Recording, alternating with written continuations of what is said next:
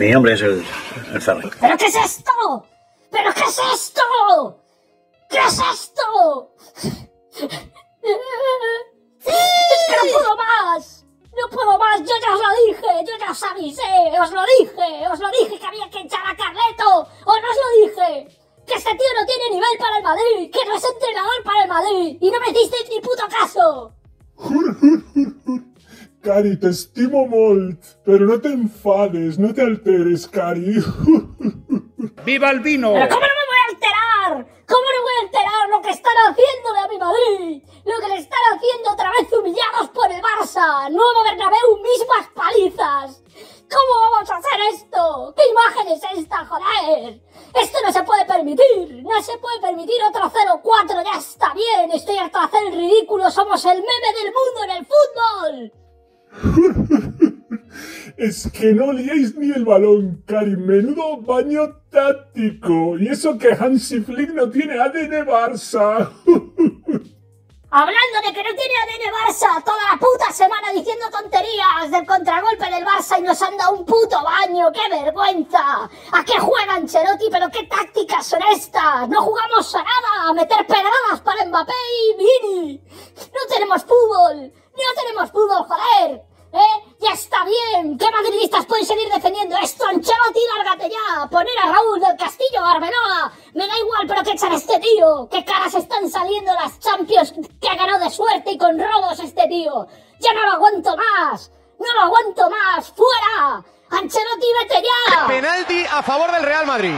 Buenas noches, queridísimos, queridísimos amigos. Bueno, buenas, buenas y tristes noches, queridísimos amigos de las redes sociales. Y digo tristes porque, aunque yo soy del Barça, que ustedes ya lo saben, ustedes ya lo saben, que yo soy del Barça, no me, no me congratula ver eh, un partido con una victoria, con esta falta de deportividad del banquillo del Barcelona, festejando esta victoria, demostrando un complejo terribilis un complejo terribilis, una, una madriditis. Parece que no, no han ganado nunca un partido. Solo es un partido de liga, nada más. Nada más. Se nota, se nota, queridísimos amigos, me van a disculpar, ustedes ya, ya saben, ustedes ya saben que yo soy del Barça, se los digo una y otra vez, porque hay casposos y, y bocachanclas que me, que, que se atreven a cuestionarme, pero ustedes ya saben que, que, que yo soy del Barça y que soy objetivo hago autocrítica, que soy profesional. Eh, y el partido de hoy el Real Madrid no ha estado. Realísimo de Madrid no ha estado porque el Real Madrid viene de ganar grandes eventos. La Liga, la Champions, el Real Madrid, para el Real Madrid, este partido es un partido más. Un partido más. Sin embargo, el Barcelona parecía que le iba la vida en ello sinceramente, a los, a los que somos de verdad del Barça, nos, nos duele mucho ver este complejo, esta actitud que pareciera que están jugando el partido de sus vidas, cuando simplemente es un partido más. Y el Barça ha tenido mucha suerte de que le han señalado muchos fueras de juego dudosos, eh, muy dudosos, que parecía que tenía un muelle Linier, a Kiki Mbappé y a Vini, y a Vini que ha hecho un partido fantástico, fantástico. Luego el Barcelona ha tenido mucha suerte de cara a portería. ¿eh? Tirado muy poco y ha marcado muchos goles.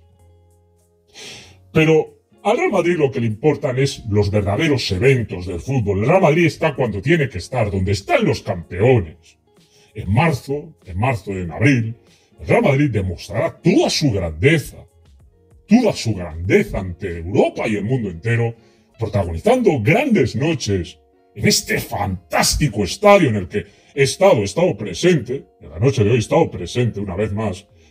ya sabéis que hemos ido esta, semana, hemos estado en el partido del Dortmund, que hemos hecho una quedada con los amigos madrileños que tengo por aquí. Un saludo afectuoso a todos vosotros, queridísimos amigos, y, y, y todas mis, mis, mi más sincero abrazo, porque entiendo que esta noche es una noche molesta para vosotros, sobre todo por tener que aguantar la chulería y la prepotencia de muchos casposos. No todos los barcelonistas somos así, queridísimos amigos.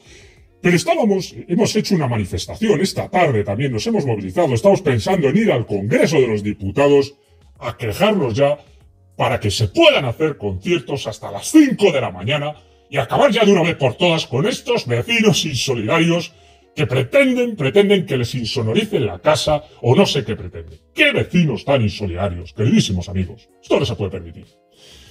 ¡Qué majestuosidad la del nuevo Bernabéu! Me cuesta, es tan, es tan espectacular este estadio que me cuesta prestar atención al partido.